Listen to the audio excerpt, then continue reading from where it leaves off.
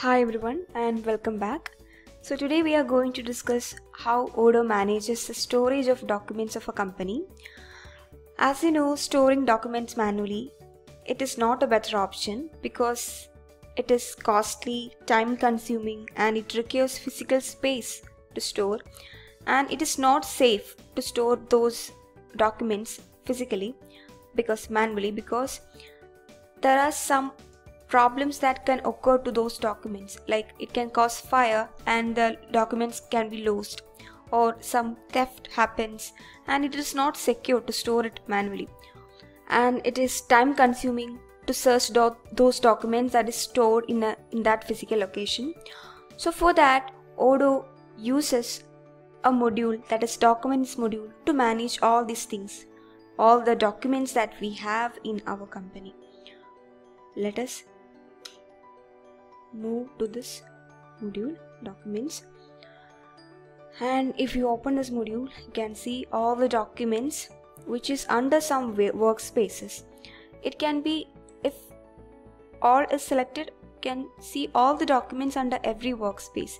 You can see all the workspaces like internal finance hr marketing products fleet recruitment.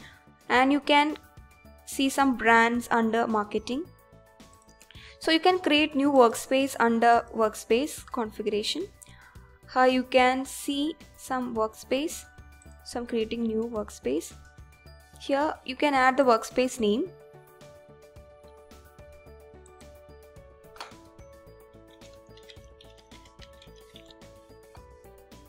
And you can add some parent workspace.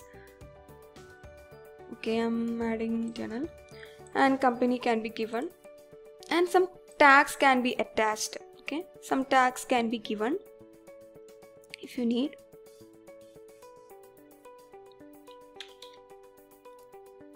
And some tooltip can be given. Can add here. Okay.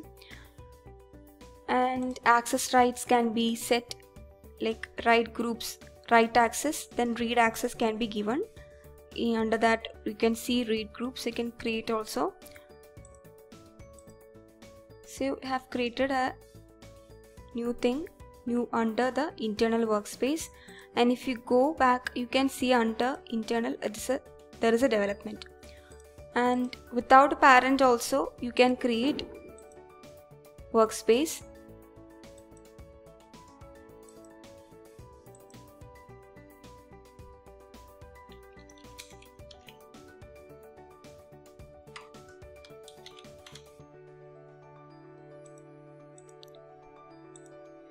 also you can see the workspace created. So in this way sub workspaces can be given. And you can see some documents under these workspaces. And whenever you create some tags that also can be seen here. And if you click on that it will be filtered according to that according to the tags. And you can see some documents. So documents type hmm, can see here financial contract okay there also can be filtered. And under configuration you can see the tags all the tags that is created under okay. And also same way you can see the physical years 2019 2020 so according to that you also you can filter those. If you choose a document you can see some details of this document. The name can change the name here edit the name then contact can add some contact here. And the owner of this document can be set then workspace can be changed. Currently it is in finance you can change the workspace and also add some tags here then actions you can add some actions. That is create vendor bill validate like that we can give some actions.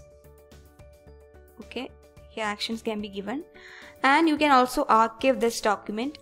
If you archive this it will be under the archived. Okay. So I'm just going to archive and selecting this and restoring it. So it is restored. Now then you can see option that is download then share this selection then replace. You can replace the document and you can also lock this document. Okay this is about this. Then you have an open chatter also.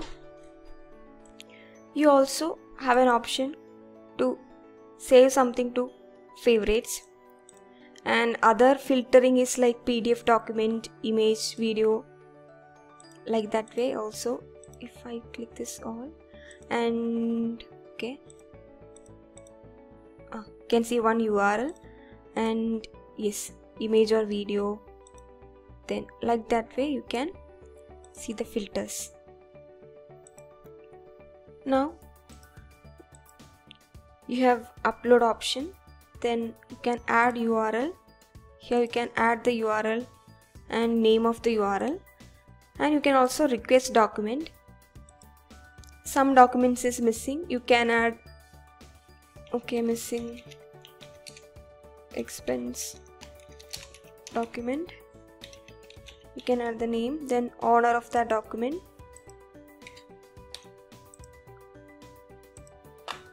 Then contact can be added here and due due date in 30 days activity type request document and workspace to which workspace you need and some tags can be given nodes so in this way request can be given. And you can filter according to requested. You can see the requested documents. And you have other option share. So under configuration you can see shared links or the links that was shared. So come back and share can see this url and can give the name of the shared link. Name can be given and two options. This is allowed to when you go get this link and open that it's allowed to download the document or download and upload. I'm just clicking download and upload then valid until this is valid until okay give a date.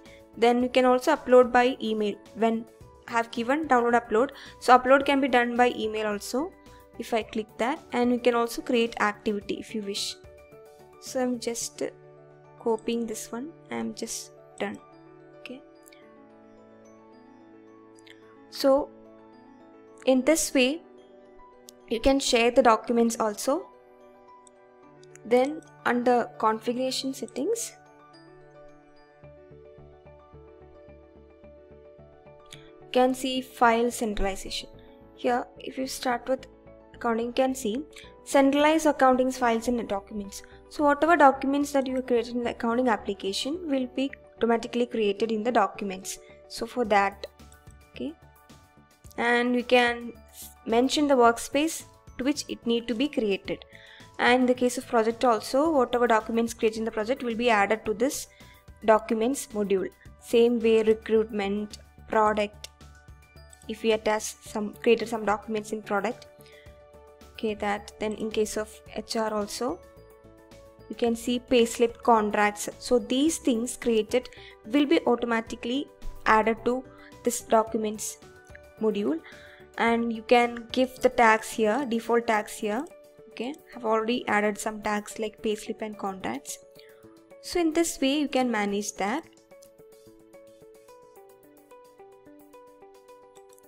So it is the best way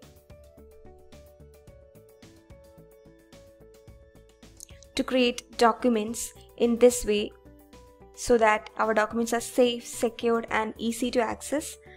So that's all about this module and thanks for watching. If you are interested in knowing more about this or looking for any Odoo implementation or customization in your business, drop your request to info at cybrosys.com.